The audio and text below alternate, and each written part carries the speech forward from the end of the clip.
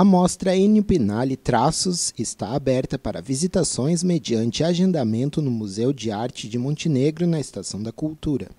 A exposição de longa duração, que iniciou em dezembro com o objetivo de destacar o artista local e o seu legado, entrou nesta nova fase que fica em exibição até o dia 30 de junho. Então, a gente está com a exposição aqui nessa sala do Enio Pinali, que é o nome da sala também, por isso que a gente optou então em expor quadros dele, né? O Enio Pinali é um montenegrino que vai ficar conhecido então por, uh, por pintar paisagens, mas ele também pintou pessoas, uh, objetos. E aí essa nova fase é isso, é os estudos que ele fazia para então criar os quadros dele, né? Por isso que a gente deu o nome de traços, porque eles começam com pequenos estudos em pequenos quadros, como a gente pode ver ao longo da sala, para depois então virar o quadro que a gente vê exposto e tudo mais, né?